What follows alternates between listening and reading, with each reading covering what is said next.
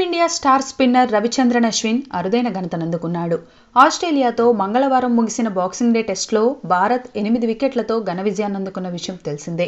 అయితే ఈ మ్యాచ్లో ఆసిస్ టైలెండర్ జోష్ హెజల్వుడ్ను ఆఖరి వికెట్గా తీసిన అశ్విన్ టెస్ట్ క్రికెట్లో ఎక్కువ మంది లెఫ్ట్ ఆర్మ్ బ్యాట్స్మెన్ను అవుట్ చేసిన బౌలర్గా నిలిచాడు. తద్వారా ఇప్పటి వరకు ఈ జాబితాలో అగ్రస్థానంలో ఉన్న శ్రీలంక స్పిన్ దిగ్గజం ముత్తయ్య మురళీధరన్ రికార్డును కూడా అధిగమించాడు. అశ్విన్ ఇప్పటి వరకు టెస్టుల్లో మూడు వందల డెబ్బై ఐదు వికెట్లు తీయగా అందులో నూట తొంభై రెండు మంది లెఫ్ట్ ఆర్మ్ బ్యాట్స్మెన్ను అవుట్ చేశాడు. ఇక ఎనిమిది వందల వికెట్లు తీసిన ముత్తయ్య మురళీధరన్ నూట తొంభై ఒక్క మంది ఎడమ చేతివాట ఆటగాళ్ళను పెవిలియం చేర్చాడు. వీరి తర్వాత England pacer James Anderson Glenn McGrath Shane Warne Anil Kumble ఈ లెఫ్ట్ ఆర్మ్ బ్యాట్స్మెన్ను అవుట్ చేసిన జాబితాలో ఉన్నారు. ఇక డే అండ్ నైట్ టెస్ట్లో ముప్పై ఆరు పరుగుల స్కోరుతో పరువు తీసుకున్న టీమిండియా దెబ్బతిన్న పులిలా పంజా విసిరినట్లయింది.